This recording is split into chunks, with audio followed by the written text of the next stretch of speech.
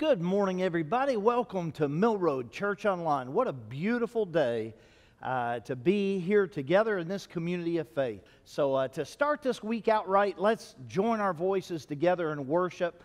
But before we do, if you would, go ahead and share this program so that we can invite all of your Facebook friends and family to come and to join in with us this morning. All right, so let's go ahead together and let's lift our voices in praise and worship to our great King. Hi, good morning. It's so great to have you here today. Uh, why don't you just join us today? We're going to offer up a, a, sacrifice of worship this morning. Join us in praises and worship to our Lord and Savior Jesus Christ. Ready? Here we go.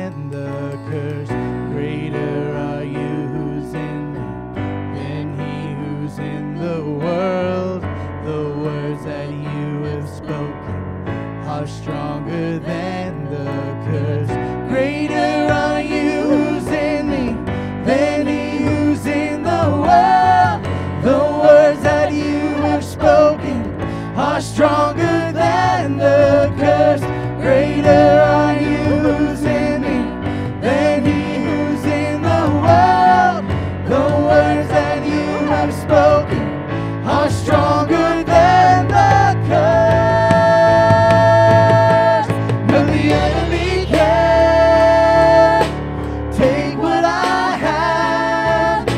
Or change who I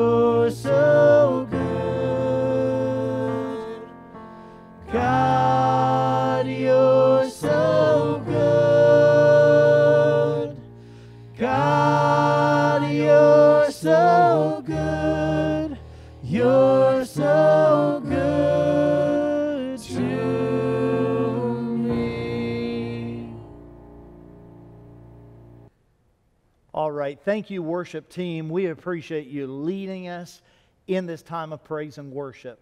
Man, our God is so good. Well, what a privilege it's been and continues to be as we trail through this series of Team Jesus. Now, we've been talking about through the uh, last, quite a few, last several weeks, we've been talking about end times. And we've had the privilege of talking about uh, simply uh, the rapture and how that Christ is going to come back and receive us unto himself. And so it's an amazing thing to know that we're going to get to go and to live with Jesus for the rest of eternity. Now, uh, that's going to happen at the beginning of the tribulation. The rapture is going to happen, then the tribulation starts. Then there's a series of events that take place, and we'll be seven in heaven uh, with the Lord, those who are uh, His children, those who have received Jesus as personal Lord and Savior of their life. They are a part of the family of God. They are the family of God. We will spend uh, then time in heaven with Jesus. And yet there will be a time on this earth, the time of tribulation, that's going to take place. And it's going to be for those who are left behind, those who have never given their life to Jesus. And uh, it's a time where Satan is going to seek to rule and to reign, and he will on this earth. And so we find that within the series of things that we talked about, uh, a couple weeks back, we talked about the mystery of lawlessness. And so we find that the son of lawlessness, a man of lawlessness, or the man of sin, the Antichrist, the first beast, he will take rule and reign on the earth. And the whole world will give their allegiance to the Antichrist. Not only that, then uh, we also continued on this just this last week, and the title of the message was Fire from Heaven. And I talked to you about the false prophet and how the false prophet is going to be the one who promotes the Antichrist, the first beast, and the false prophet is known as the second beast. And so, with that in mind, we're going to continue this series. He is a religious leader, uh, the false prophet is, speaking, uh, speaking things that are not true, that are not real, that are not uh, honest, they're not godly, they're not righteous. It's a false doctrine. It leads people into destruction. Ultimately, he's about uh, getting people to worship the first beast. And so, how important it is for, it, for us to have a understanding of who he is and what he does. And so, this week I want to talk to you about the harlot church. Now, I've had people to ask me, Pastor, uh, will religion still be here during the tribulation? Will the church be here? Uh, of course, the first part of that is no, the church will not be here, not God's church, not uh, the, the bride of Christ, because the bride of Christ will be raptured up out of this earth before the day of wrath or the tribulation starts. But there will be a church. It'll be the harlot church. It'll be the church of Satan. It'll be uh, his domain. Now, it's not going to be satanic worship per se and all that. Uh, it's going to have a good face on it, and it's still going to be religious. But yet, it's going to be a false religion headed up by the false prophet. And we find, we're going to look here in our passage at Revelation chapter 17, beginning in verse number 3. All right, look with me if you would. It says, And he carried me away in the Spirit. Now, keeping in mind, this is John who is penning this information. Uh, he was caught up into heaven, and, and, and God showed him all these things that he wrote in the book of Revelation for our understanding to the things that are to happen. And so we find he's writing this now. He says, And he carried me away in the Spirit into the wilderness, and I saw a woman setting on a scarlet beast that was full of blasphemous names. And it had seven heads and ten horns. The woman was arrayed in purple and scarlet, and adorned with gold and jewels and pearls, holding in her hand a golden cup full of abomination and the impurities of her sexual immorality. And on her forehead was written a name of mystery Babylon the Great, mother of prostitutes and of earth's abominations. And I saw the woman drunk with the blood of the saints, the blood of the, mar- uh, of the martyrs of Jesus. Now, I just want to take a few moments and unpack this for you. I realize there's a lot of symbolism that happens in the book of Revelation, but it's for our understanding. And really, as you begin to understand it, it, it gives it more clarity, it makes more sense. The scripture tells us here in verse number three, and he carried me away into the wilderness, and I saw a woman. This woman is the harlot church. This is a representation of the harlot church, the religious system of its day. Now, we know this. We know that in the last days, uh, during the tribulation, there will be a one world religious system, ultimately used to worship the first beast, the Antichrist, and to destroy, ultimately, to destroy all mankind. Now, that's really important to understand that because ultimately, what Satan's end goal is is to hurt God. He hates God and anything that represents God. He speaks blasphemous things against the church and against God and his people and he wants to destroy God's people and God's church and all that represents God. He wants to destroy it. He wants the worship. He wants the praise and he wants everything to do with God to be destroyed. And so he sets himself up. He tries to have this satanic trinity between the dragon, the first beast, and the second beast. That being Satan, the dragon. That being the first beast, the Antichrist. Second beast being the false prophet. Understanding this is the, uh, this is the satanic trinity, even as God has his holy trinity God the Father, God the Son, God the Holy Spirit. Understanding that it is through the Son of God that we come to know the Father God. God the Father Himself. Matter of fact, Jesus said, If you know me, you know my Father. And so it will be true with Satan. He will use the son of perdition, the man of sin, to be his representative. And as you know him, you will know Satan himself in that regard. And then you have the Holy Spirit, which is uh, God the Holy Spirit, he is the one who leads us and directs us to the worship and to the understanding of who the Son of God is, Jesus, in order that we can ultimately understand the Father. Even so, the false prophet is like the Holy Spirit in the unholy Trinity, in the satanic Trinity. He will promote the son of perdition, he will promote the Antichrist and worship to him and understanding of what he wants. And ultimately, to understand those things is to understand what Satan wants. And ultimately, Satan's end game, his end goal, is destruction of all mankind that was made in the very image of God. Even those who don't worship God, even those who uh, have never put their allegiance to God, He wants to destroy them because they were made in the very image of God. And He can't stand it. That's His end game.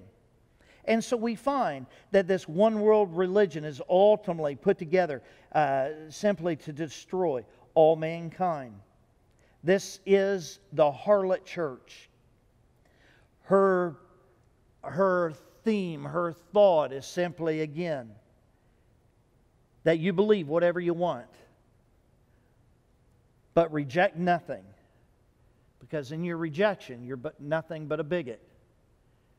And somehow there's this all inclusive, believe everything, and, and we're all just trying to get to the same place. So we may all be coming from different paths, but at the end of the day, that is a false doctrine, and it's destructive, and it kills people, and it leaves people in ruin spiritually.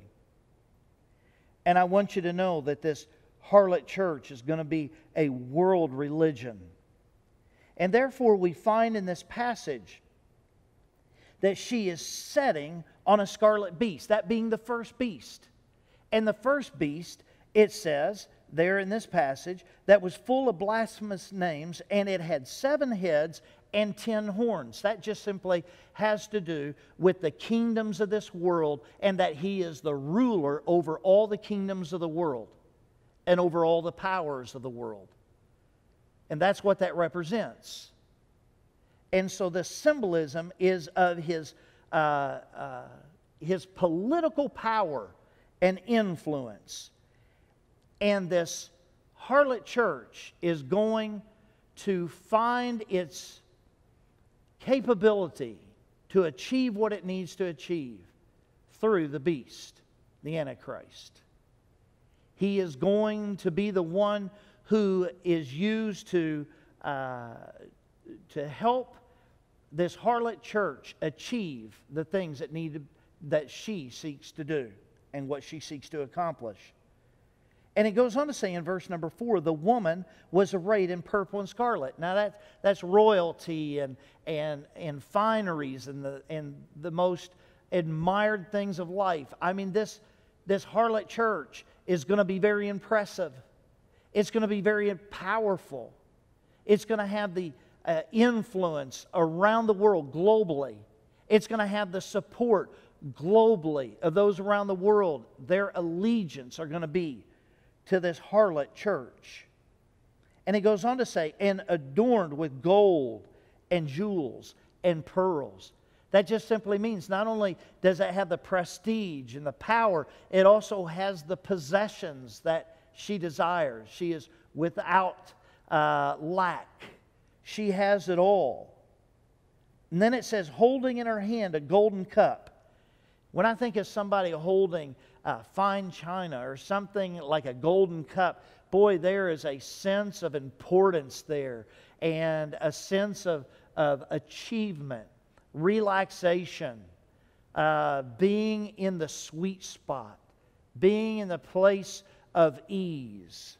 And there she is, holding her golden cup full of abominations and the impurities of her sexual uh, um, immorality.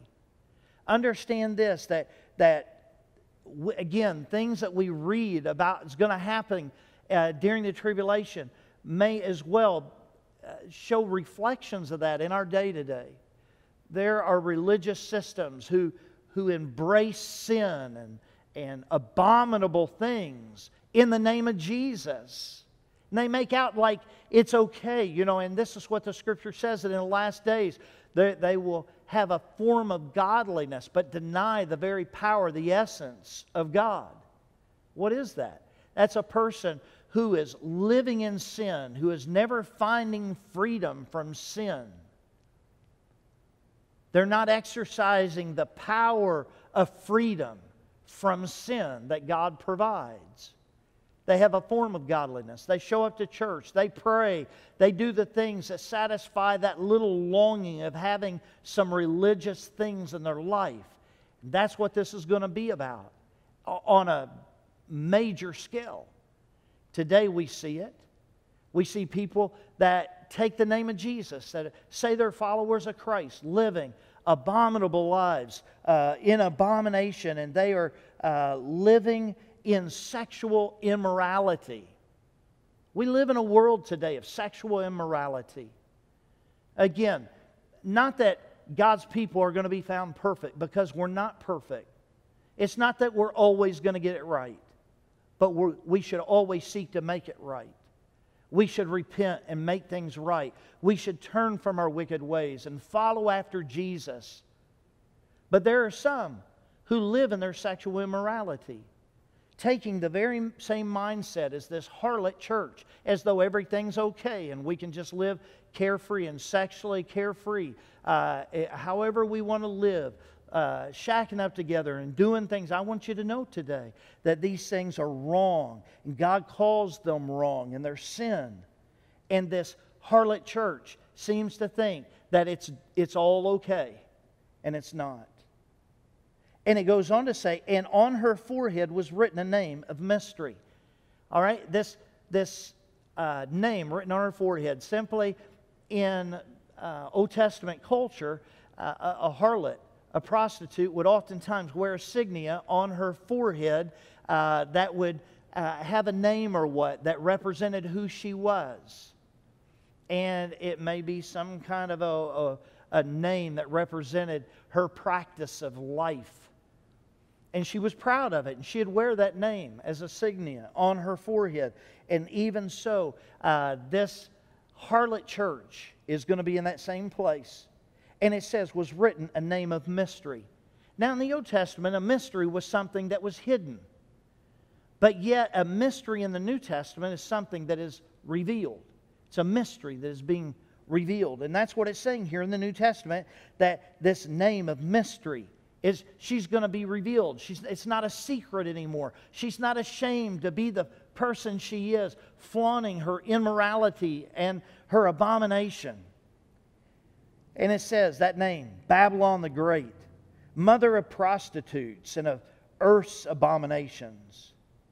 And he goes on to say, John says, And I saw the woman drunk with the blood of the saints. In other words, there are many people that have been led astray, who have been led down a wrong path. I mean, it's even happening today in the world we live where people are being led by false doctrine, led away from the truth never to be all that God wants them to be, never ever finding that relationship with Jesus, dying in their sin because they have embraced the, the false doctrine that Satan puts out there. But man, in the latter days, when the whole world is, is supporting this harlot church, when everybody seems to be going in this direction, it's going to be really hard for people to to deny it or to turn from it because it seems so right because everybody's involved. But yet, she will lead astray and, uh, with, and she will be drunk with the blood of the saints. And it goes on to say, the blood of the martyrs of Jesus. Yes, this harlot church will be a part of the system of, of martyrdom, of eliminating those that are followers of Jesus their blood will be shed by this church. Because simply their message is if, it's, if, if there's any other message, then our message is wrong and it has to be destroyed, it has to be uh, eliminated.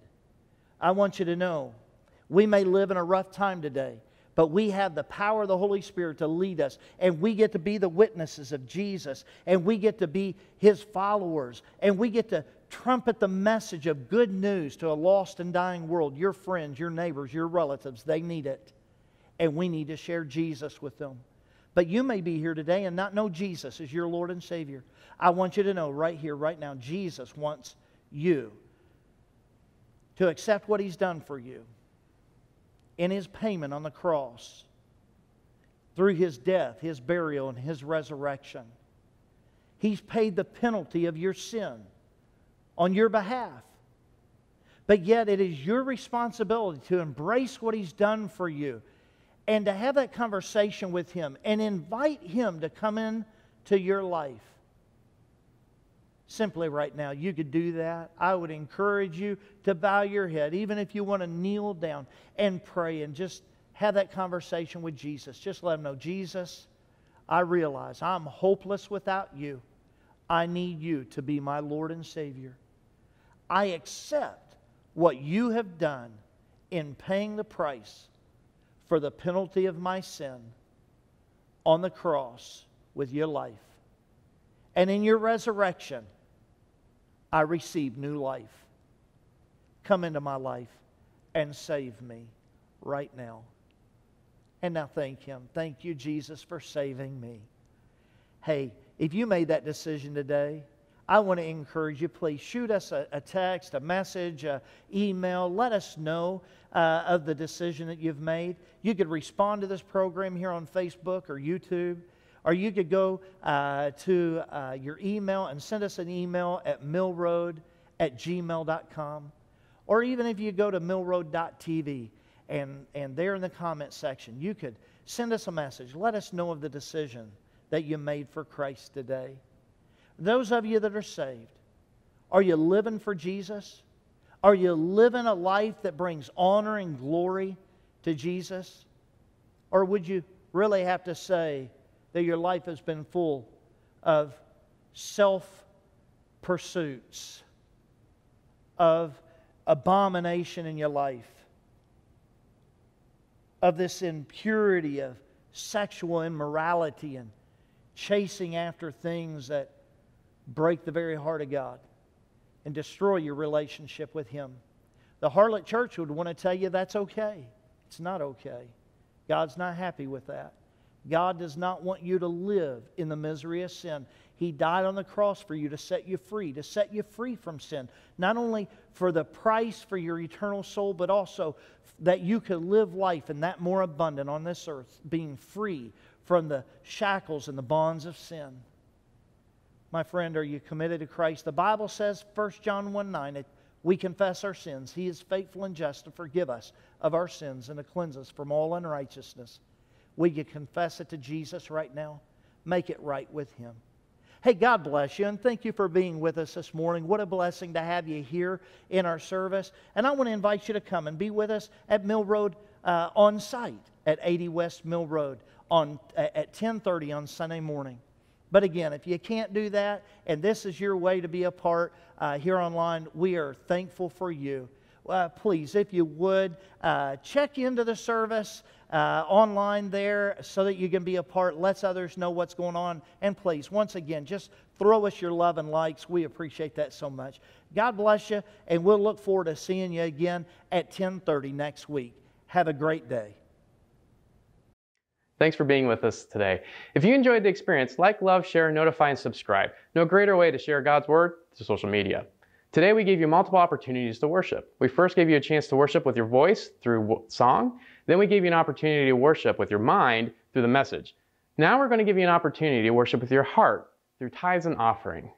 Open up your favorite web browser, click in the URL, type in millroad.tv. That'll send you to our web page. If you click in the upper right hand corner, there's a give button. It'll send you to our PushPay system where you'll be able to give a one-time or reoccurring giving. We hope you enjoyed the experience today. We want to see you next time. God bless.